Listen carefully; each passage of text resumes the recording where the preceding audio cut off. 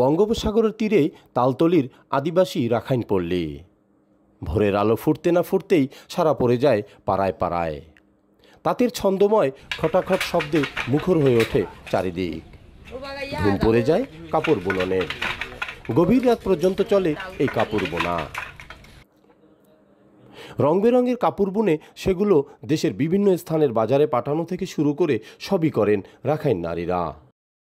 দীর্ঘদিন ধরে চলে আসা সেই তাতে আজ লেগেছে প্রযুক্তির ছোঁয়া। তার সুফলও মিলছে। নিজেদের প্রয়োজন মিটিয়ে আদিবাসীরা তাদের তৈরি কাপড় বাজারজাত করছেন দেশ জুড়ে বলতে গেলে এই তাঁতি আজ রাখাইনদের অন্য সংস্থানের প্রধান মাধ্যম হয়ে উঠেছে। রাখাইনদের হস্তচালিত তাতে বোনা কাপড়ে থাকে বাহারি ও ঝলমলে রঙের ব্যবহার এবং লতাপাতা ফুল পাখি ও প্রকৃতির নানা অনুষঙ্গের অলঙ্করণ। এটা তাদের তৈরি কাপড়ে এনেছে বৈচিত্র্য।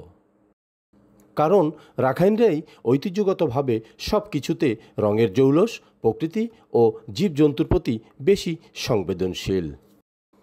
তাদের পোশাক ও সংস্কৃতিতে এটা বিশেষভাবে পরিলক্ষিত।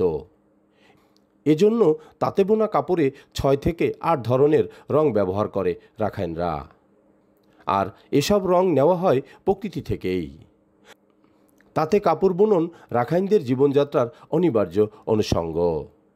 এক সময় নিজেদের প্রয়োজনের কাপড়ের সংস্থান তারা নিজেরাই করতেন।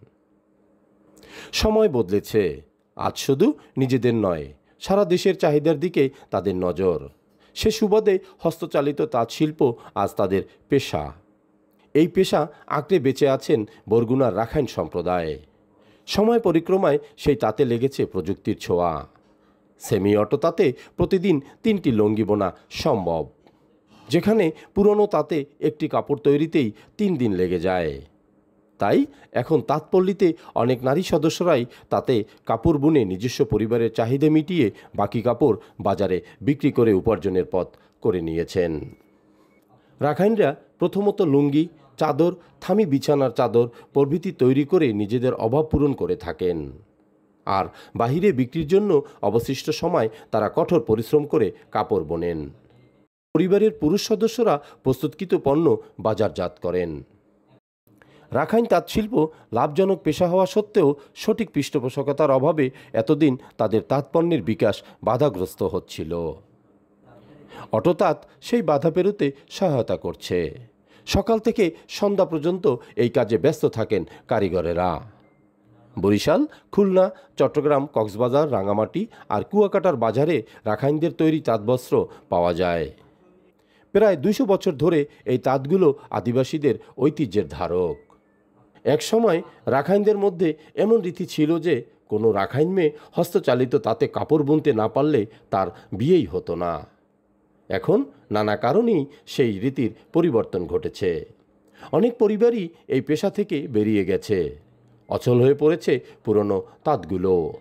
তবে সেমি অটো তাঁত প্রযুক্তি রাখাইনদের সেই পুরনো পেশায় ফিরিয়ে নিতে সাহায্য করছে। শত প্রতিকূলতার মধ্যেও তালতলি থানার তালতলিপাড়া, ছাতনপাড়া, মনুখেপাড়া আগা ঠাকুরগাঁ পাড়া সদাগার পাড়া তালুকদার পাড়া কবিরাজপাড়া, তাঁতিপাড়া, লাউপাড়া ও অঙ্কুরজান পাড়ায় রাখাইন পল্লীতে রাখাইন নারীরা কাপড় বোনেন। প্রযুক্তির ছোঁয়ায় রাখাইনদের তাঁত শিল্পে সুদিনের আবাস মিলছে।